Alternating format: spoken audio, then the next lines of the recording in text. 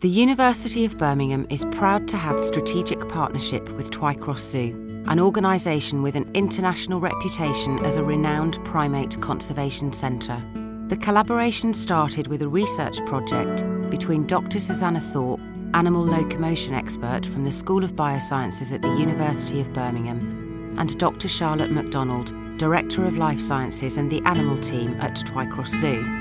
Dr Thorpe and colleague Dr Jackie Chappell developed a computer program that can be used to design zoo enclosures for apes, like chimpanzees, which mimic the physical and mental challenges chimpanzees face in their natural environment.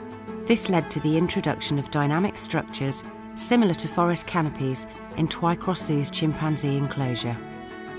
Whilst the structures don't look like a forest canopy, they behave mechanically like it to emulate the flexibility and connectedness that typifies how branches flex and link in their natural environment.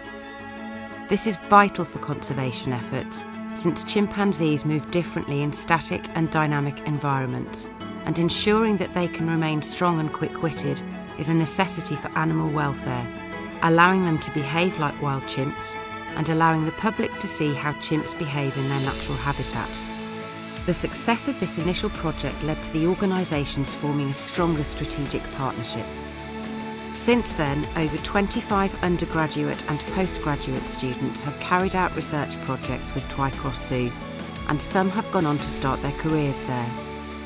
The partnership has expanded beyond the School of Biosciences to include other areas of the university as diverse as the School of Psychology and Birmingham Business School and the relationship between the organisations remains strong as we plan for our future collaborations.